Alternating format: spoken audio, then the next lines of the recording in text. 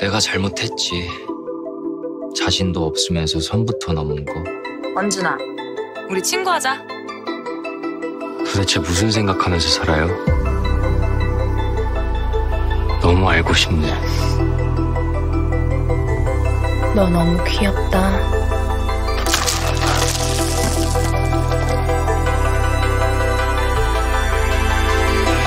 혹시나 해서 말하는데 너도 나한테 반하지 마.